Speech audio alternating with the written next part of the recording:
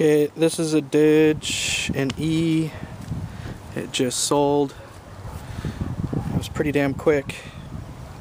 It's only been like three days since it's been finished, so I was quite surprised with that. Um, just out of the blue, someone called me up and decided to pick this Dig up, so this Dig is no longer available. And you know what? This is probably one of my favorite ones out of the small group that we did. It's just absolutely gorgeous and it's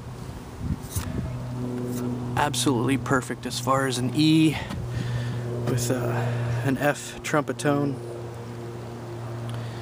and this one sold for 250 and uh, I would say he got a pretty decent deal. And I'm kind of actually kind of sad to see it go actually. This is out of the whole batch of Diges that I built this one just kind of jumped out at me as far as being like sonically well-rounded. Good back pressure. so, I know I probably could have got a little bit more money for it, but the guy seemed to be a good, honest guy, and so I kind of cut him a deal.